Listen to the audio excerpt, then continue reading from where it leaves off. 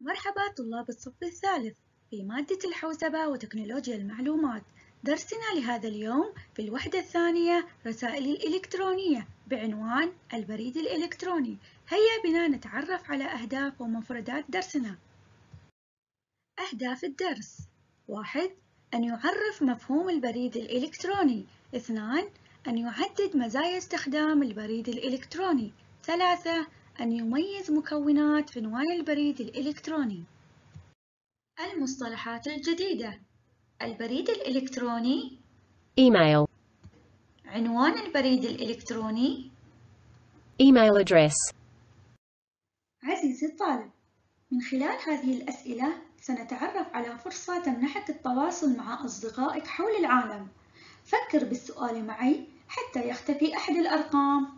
ونتعرف على ما بخلف الأرقام السؤال الأول يقول تمنحك من التواصل مع أصدقائك حول العالم هل شبكة الإنترنت أم الرسائل الورقية؟ أحسنتم شبكة الإنترنت هل عرفتم على ماذا تدل هذه الصورة؟ إذا لننتقل للسؤال التالي تستطيع من خلالها أن ترسل الصور والملفات والفيديو لأي صديق حول العالم هل شبكة الإنترنت أم الرسائل الورقية؟ صحيح إنها شبكة الإنترنت هل عرفتم على ماذا تدل هذه الصورة؟ أحسنتم إنها شبكة الإنترنت إذا تمنحك شبكة الإنترنت الفرصة للتواصل مع أصدقائك حول العالم. ما بك يا حمد؟ أريد أن أهنئ صديقي علي بمناسبة العام الدراسي ولكن مكتب البريد أغلق ولا أستطيع أن أرسلها اليوم. بسيطة يا حمد قم بإرسالها بالبريد الإلكتروني. يصل بسرعة وبثواني بشرط أن تكون متصلا بالإنترنت. ما هو البريد الإلكتروني يا ريم؟ هل يعمل بالكهرباء؟ لا يا حمد دعنا ننادي صديقنا الروبوت فهو أفضل من يحدثنا عن هذا الموضوع مرحبا يا أصدقائي البريد الإلكتروني هو طريقة لتبادل الرسائل الإلكترونية حيث ترسل عبر شبكة الإنترنت وتنتقل بسرعة بين المستخدمين حول أنحاء العالم ولكن كيف يمكنني أن أرسل بريد إلكتروني أو أن أحصل على عنوان خاص بي؟ هذا بسيط يا ريم. هناك مواقع على شبكة الإنترنت توفر خدمة البريد الإلكتروني مجانا مثل Mail application و Outlook والآن عزيزي الطالب لنقم بفتح كتاب الطالب. صفحة 46 حتى تساعدوني في حفظ مفهوم البريد الإلكتروني من خلال تقسيمة إلى خمسة أجزاء. الجزء الأول في مفهوم البريد الإلكتروني. هو طريقة لتبادل الرسائل. الجزء الثاني الإلكترونية حيث ترسل عبر الجزء الثالث شبكة الإنترنت. أما الجزء الرابع وتنتقل بسرعة بين المستخدمين. والجزء الخامس حول أنحاء العالم. من منكم يا طلاب؟ سيعيد مفهوم قراءة البريد الإلكتروني بشكل واضح؟ والآن عزيزي الطالب سنلعب لعبة رفع الكروت. هل بجانبك كرت أخضر وكرت أحمر؟ قم بإحضارها. حتى تقوم بمساعدتي باختيار الإجابة الصحيحة. سأقوم بقراءة السؤال ثم قم برفع الكرت الذي يحمل الإجابة الصحيحة. السؤال يقول هو طريقة لتبادل الرسائل الإلكترونية حيث ترسل عبر شبكة الإنترنت وتنتقل بسرعة بين المستخدمين حول أنحاء العالم هل الكرت الأخضر شبكة الإنترنت تحمل الإجابة الصحيحة؟ أم الكرت الأحمر البريد الإلكتروني؟ فكروا أحسنتم إنه الكرت الأحمر البريد الإلكتروني السؤال يقول إن إرسال واستقبال رسائل البريد الإلكتروني عبر شبكة الإنترنت يتطلب توفير تطبيق للبريد الإلكتروني مثل هل الكرت الأخضر Mail application يحمل الإجابة الصحيحة؟ أم الكرت الأحمر برنامج معالج النصوص Word؟ فكروا أحسنتم Mail application الكرت الأخضر يحمل الإجابة الصحيحة مزايا استخدام البريد الإلكتروني أول ميزة من مزايا البريد الإلكتروني الرسائل مجانية حيث يمكنك إرسال رسائل البريد الإلكتروني دون أي تكلفة مادية فلا يتطلب الأمر سوى الاتصال بالإنترنت. إرفاق الملفات. يتيح لنا البريد الإلكتروني إمكانية إرسال رسائل تتضمن ملفات كالصور أو المستندات أو ملفات الصوت والفيديو وغيرها الكثير. أيضا البريد الإلكتروني يجول العالم حيث أن البريد الإلكتروني يمنحك التواصل مع أصدقائك حول العالم ويصل لأكثر من مستخدم في نفس الوقت حيث يمكنك إشراك وإرسال البريد الإلكتروني لعدة أفراد في نفس الوقت. سرعة تبادل الرسائل يساهم البريد الإلكتروني بتوفير الوقت والجهد من خلال سرعته الفائقة التي تمكن المستخدم وبلحظات من إيصال رسالته الإلكترونية لمستخدم آخر في أي دولة من دول العالم. هذا رائع يا ريم، هل يمكنني أن أرسل هدية إلى صديقي من خلال البريد الإلكتروني؟ لا يا حمد، لا يمكنك إرسال الأشياء المادية أو المحسوسة عن طريق البريد الإلكتروني. مثل ماذا يمكن إرساله والذي لا يمكن إرساله عبر البريد؟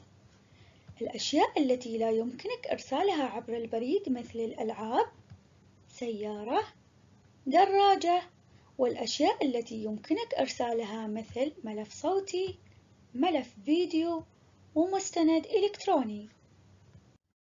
والآن أعزائي الطلاب، لنقم بإخراج ما بداخل الظرف ونضعه في مكانه المناسب. أشياء يمكن إرسالها عبر البريد أشياء لا يمكن إرسالها عبر البريد. الصورة الأولى تدل على أدوات مدرسية. هل نضعها في أشياء يمكن إرسالها أم أشياء لا يمكن إرسالها؟ أحسنتم إذا نضعها في أشياء لا يمكن إرسالها. الصورة التالية تدل على ملف صوتي. نضعه في أشياء لا يمكن إرسالها أم أشياء يمكن إرسالها؟ صحيح أشياء يمكن إرسالها. وهنا مستند في برنامج معالج النصوص وورد نضعه في أشياء يمكن إرسالها أم أشياء لا يمكن إرسالها؟ صحيح أشياء يمكن إرسالها. وهنا مجموعة من الألعاب. هل نضعها في أشياء يمكن إرسالها؟ أم أشياء لا يمكن إرسالها؟ أحسنتم. إذا أشياء لا يمكن إرسالها عبر البريد. والآن عزيزي الطالب قم بفتح كتاب التدريبات والأنشطة صفحة 33 بعد أن قمت بفتح كتاب التدريبات والأنشطة قم بحل السؤال التالي.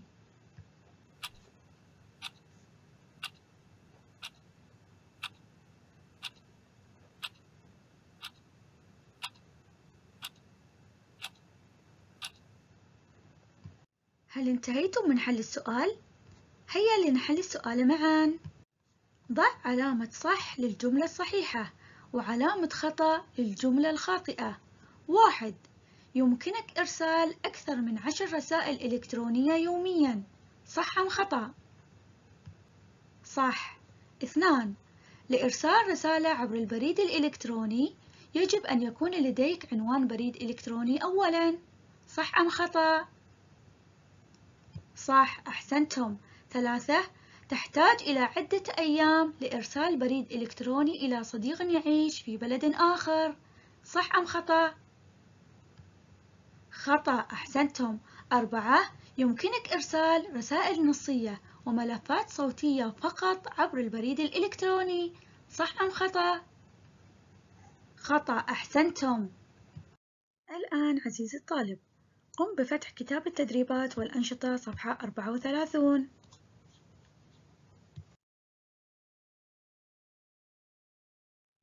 بعد أن قمت بفتح كتاب التدريبات والأنشطة قم بحل السؤال التالي أي من التالي يمكن إرساله عبر البريد الإلكتروني؟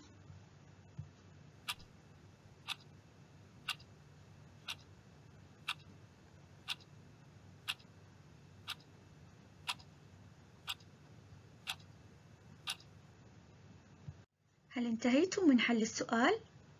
هيا لنحل السؤال معا. هل الطائرة يمكن إرسالها عبر البريد؟ كلا. والسيارة؟ كلا. والألعاب؟ كلا. وصورة رقمية؟ نعم يمكن إرسالها. والسي دي؟ كلا. ألبوم صور. كلا ملف صوتي؟ نعم هل إجاباتكم جميعها صحيحة؟ أحسنتم. ينبغي لكل شخص يستخدم البريد الإلكتروني أن يكون له عنوان بريد إلكتروني خاص به ليتبادل الرسائل عبر شبكة الإنترنت.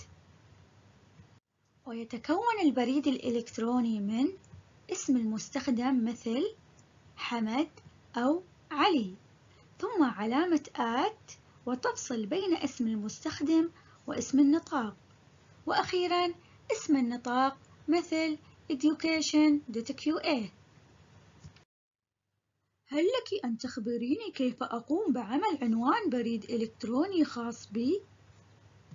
بالطبع أولاً ستضع اسم المستخدم. وهو اسم يميزك عن باقي العناوين مثل حمد ثم علامة آت وتفصل بين اسم المستخدم واسم النطاق. وأخيرا اسم النطاق ولأنك في مكان تعليمي ستستخدم النطاق education.qa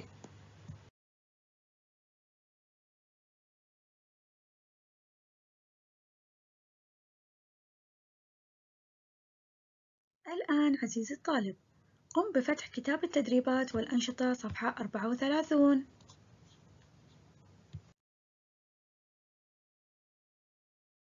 بعد أن قمتم بفتح كتاب التدريبات والأنشطة قم بحل السؤال التالي.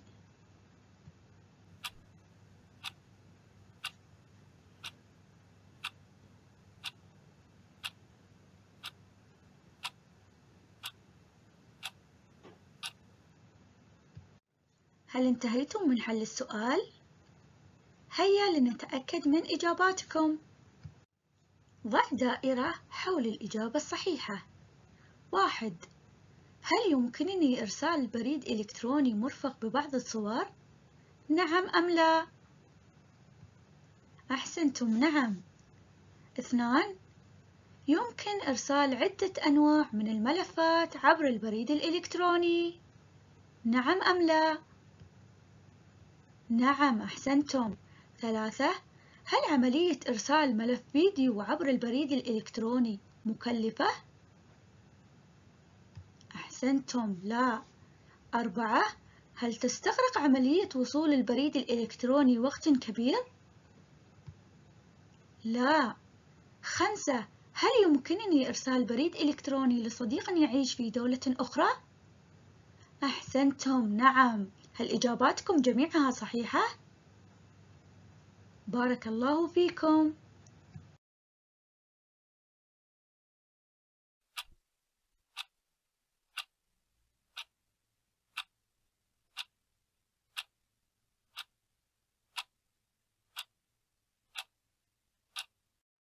يا للروعة هذا أسهل مما توقعت. ها أنا أقوم بكتابة رسالة إلكترونية لصديقي علي وسأرسلها بثوان معدودة. وهناك المزيد من المعلومات حول البريد الإلكتروني ولكن نكتفي بهذا القدر لليوم ونكمل في المرة القادمة. ماذا تعلمنا؟ واحد مفهوم البريد الإلكتروني. اثنان مزايا استخدام البريد الإلكتروني. ثلاثة مكونات عنوان البريد الإلكتروني. ولنا لقاء آخر. مع تمنياتنا لكم بالنجاح والتوفيق. إلى اللقاء.